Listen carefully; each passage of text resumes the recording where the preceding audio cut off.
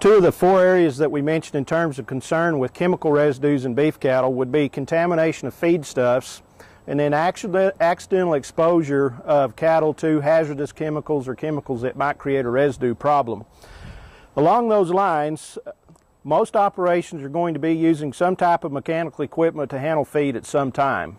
This may be the front end loader on a tractor that's used to move hay bales around. It may be used, maybe an electronic cake feeder on the back of a truck.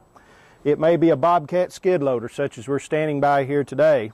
Or in some more mechanized operation, they may actually have some feed mixing apparatus that they're using. All of these equipment use uh, some type of compounds, whether they're petrochemical compounds such as oil, hydraulic fluid, transmission oil, or other chemicals such as antifreeze and so forth, that can potentially create a chemical residue problem if cattle are exposed to those, either through consumption of feed that's been exposed to those chemicals or from the cattle actually directly consuming those materials. If we'll notice on this Bobcat loader, of course, here's a hydraulic cylinder.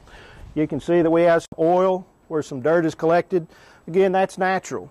What we're concerned about is if we have leaking hydraulic cylinders that someone, for instance, is using a front end loader to move hay bales around on the ranch, and that at, in the evening, instead of moving the hydraulic uh, front end loader away from the hay bales, they simply lay the loader up on top of the bales, and overnight, oil may leak onto those bales and be there for consumption by animals in the morning. We just need to be aware of that and do our best to maintain our feed handling equipment, keep it clean, keep keep the uh, whatever oils and so forth may be from leaking on onto our feed materials. Also, any of those chemicals that we're keeping on site for maintenance purposes, make sure that we keep those out away from our feedstuffs. We don't need to be storing transmission fluid and oil and antifreeze and other chemicals near feedstuffs where we can have accidental spills uh, or leakage onto the feedstuffs that we'll be using with our cattle later on.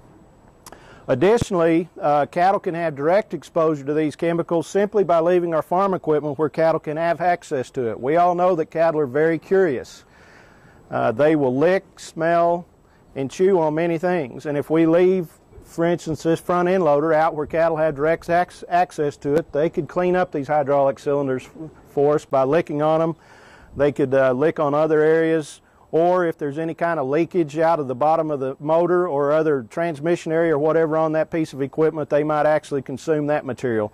So we need to keep uh, cattle away from direct access to this farm equipment and again direct access to the chemicals and maintenance materials we use for this farm equipment.